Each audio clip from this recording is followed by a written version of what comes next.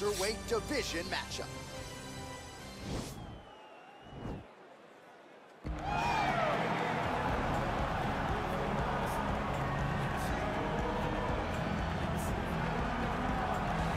Well, we probably trot out the term well-rounded in modern-day mixed martial arts more than we should, but this fighter certainly fits the bill. Oh, 110%. He can do everything inside the octagon. Where he is most comfortable is inside of that eight-sided structure where Right. most men are terrified of being. But for this gentleman, he only wants to be there.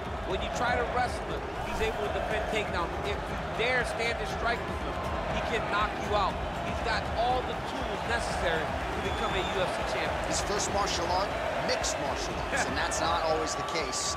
He believes that he should have a lot of advantages in this matchup tonight.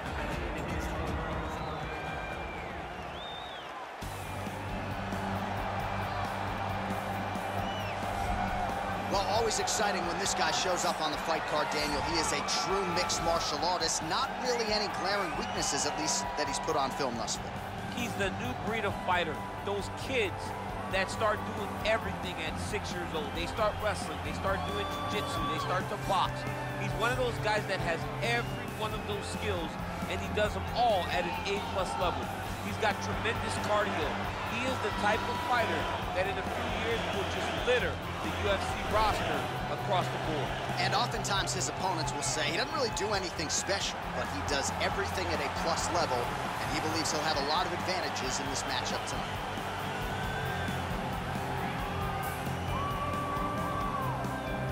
Our tale of the tape for this highly anticipated welterweight fight. So a more than five-year gap between these two fighters when it comes to the age, some differences in height and reach. All right, now for the particulars inside the octagon, here is Bruce Buffer. Ladies and gentlemen, this fight is three rounds in the UFC welterweight division. Introducing first, fighting out of the blue corner. This man is a mixed martial artist, holding a professional record of 10 wins, no losses. He stands 6 feet 2 inches tall, weighing in at 170 pounds. Fighting out of Stockholm, Sweden, Hamzat Borsjemayev. And now introducing his opponent, fighting out of the red corner. A mixed martial artist holding a professional record of 20 wins, 4 losses. He stands 5 feet 10 inches tall, weighing in at 170 pounds. Fighting out of Boca Raton, Florida, Gilbert Durinho Burns.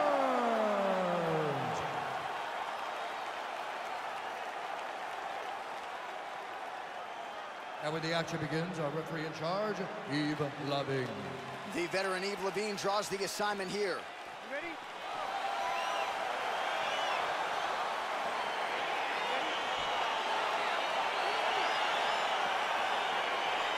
All right, so here we go, round one. I can barely hear myself thinking this straight right now. Two of the most dominant, well-rounded fighters in this division. I mean, these guys are the best of all of mixed martial arts. They can do everything when they're And with authority, goes to the judo throw right into side control. He's inside control. He's got a ton of options. A lot of top pressure being applied here as he works out of side control. Good movement by him here, transitioning very well on the ground tonight. Step for step, he's staying with his opponent in every transition.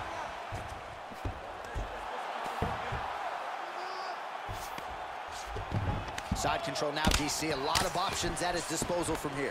Oh, his opponent squirming like a fish out of water now. The ground and pound is on point. This could very well be the beginning of the end. This could be the beginning of the end. We've seen some really good ground and pound fighters. This young man is as good as any you've ever seen. Crazy accuracy and efficiency with these ground and pound strikes here. And if you're the opponent, you've got to intelligently defend or the referee's going to stop. You gotta defend. But you can see him now starting to gain posture and the intensity at which he's throwing these ground strikes is starting to improve. It's starting to elevate because he knows that he can get the finish. All right, bottom fighter here, maybe looking to hip escape, DC. Oh, man, this ground and pound is good. Probably my favorite striking realm in MMA, and he's as good as it gets.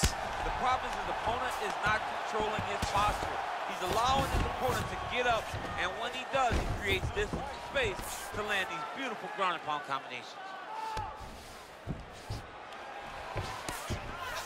Just over three minutes to go. All right, so he's sort of turtled up here. Not great body language. Perhaps he's trying to bait him in a little bit. All right, under three minutes now to go in round one. All right, so he's got the body locked down here, DC, or so it appears. This is not a guy you want anywhere near your back. All right, well, both fighters pretty comfortable on the ground, DC, but you got to be very careful hanging out here for too long if you're his opponent. Lands flush with that right hand.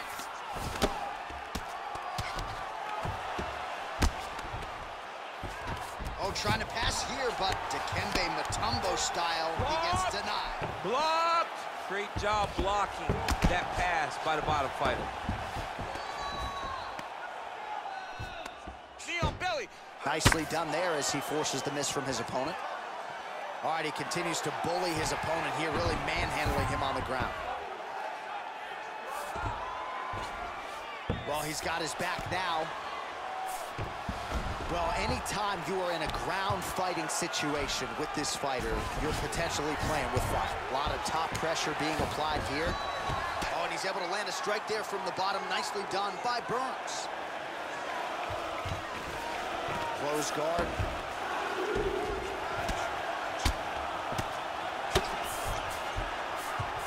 Oh, that'll work. The grounded pound strike is good. Well, he's staying pretty effective here, fighting off of his back. Nice strike landed there by the bottom by Burns. All right, half guard position here, DC. You have an extra hop in your step when you talk about fighters working out of this half guard. Oh, man. I like half guard as a top fighter. I understand half guard as a bottom fighter. Don't want to be there. It's right. very dangerous.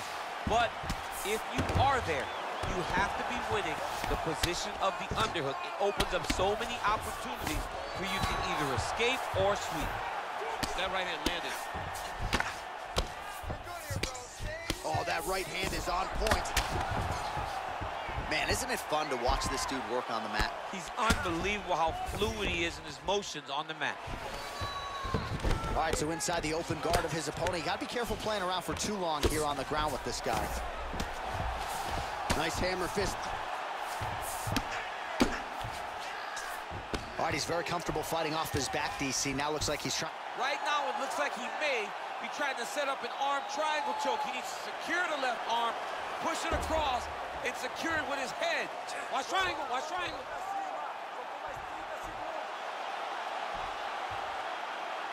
There he is. He's moving to the finishing position.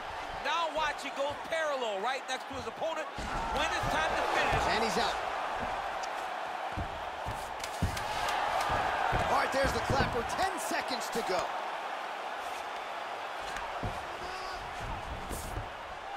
Burns has got the full mount.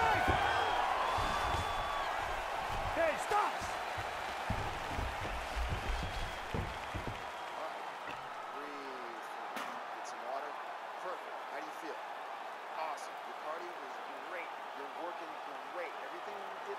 All right, DC, let's look at some of the highlights from the last round. Lot for the replay guys to choose from. Yeah, man, these guys stood on a quarter in the middle of the octagon. Take one to give one. Over and over, each guy landed, and they both landed very well over the course of that first round. You ready? You ready? Second round underway. Oh, nice connection with that punch. It's one thing to have an edge and reach. It's another to take advantage. Nicely done. Burns gets caught with that punch. Don't be afraid to get that head off the center line. So now we are on the ground. Now he is in his wheelhouse. We'll see if he can get one of his submissions to pop here tonight. Strong bottom work here, staying busy.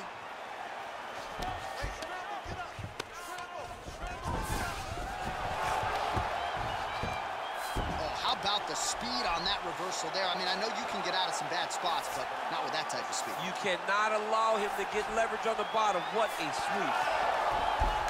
Oh, wow, that happened quickly as the fighter reverses position there on the ground. Unbelievable position change. Wow, what a transition. Burns gets caught with that punch. All right, so he lands his first takedown of the fight after many failed attempts, so he stayed... Now he's attacking the triangle. Triangle looks pretty tight, DC. I'm no Brazilian Jiu-Jitsu black belt, but maybe not good here. No, it looks like it's getting in deep.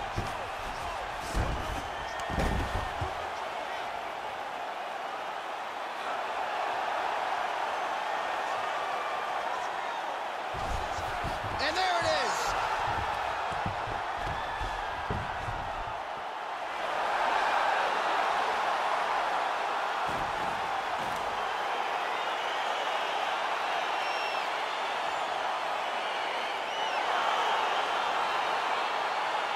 Right, let's take a look back at the replay as he gets it done by submission tonight, champ. I mean, you know, this guy has such a great submission game that you cannot lay in his guard. He's so skilled, he's so tricky, and he's so good at weaving a web that gets you lost in it that he made him pay for it tonight and got the submission victory.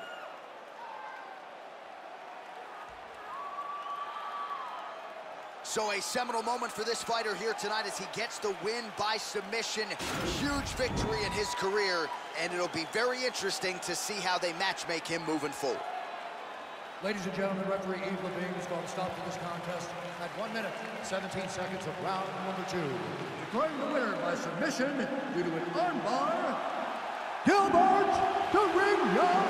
Well, what an incredible result here tonight as you see the winner there celebrating his victory by way of submission, and they put so much stock into finishing this fight. They felt like to really spin his career forward, they needed to not just win, but get the finish, and they certainly got it tonight. They got the finish. He's such a terrific grappler. Every time he is on his back, he looks for submissions over and over again. Eventually, he found one tonight and got the desired result.